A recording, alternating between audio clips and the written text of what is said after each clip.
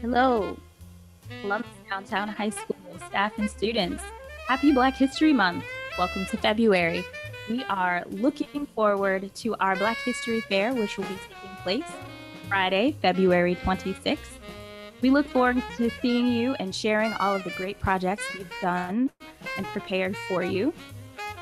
But before we get too far, let's ask this question. Ask ourselves why. Why do we need a Black History Month? We live in America. Isn't it supposed to be the land of equality?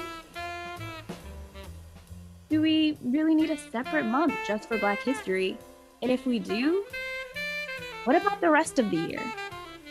Find out at our Black History Fair on Friday, where you will get opportunity to play and enjoy, participate in great games like board games, Kahoot,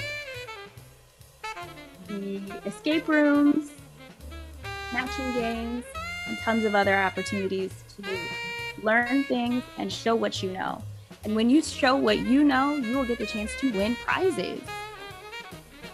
All kinds of fun prizes will be waiting for you to win and ready for you to collect. We go back into the building after next week. We look forward to seeing you on Friday. Happy Black History Month. See you then.